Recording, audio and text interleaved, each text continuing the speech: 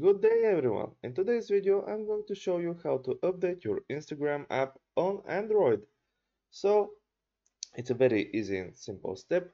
Uh, all you need to do is make sure that your Instagram is uh, required for updating because if your Instagram is up to date uh, you don't need to and won't uh, have to update it.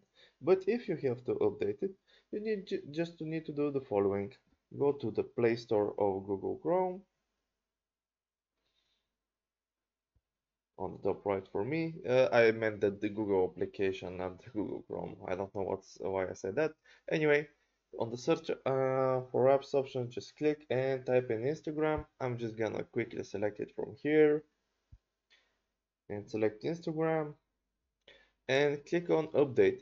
If it just says open, that just means that uh, your application is uh, updated and doesn't need to be updated. But uh, right now, like I'm doing here, I'm clicking open and it's being updated and installing the new updates.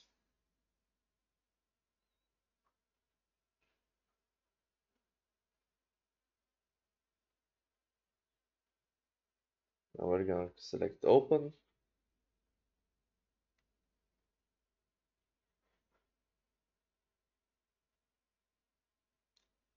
And there we go. Our Instagram is up to date.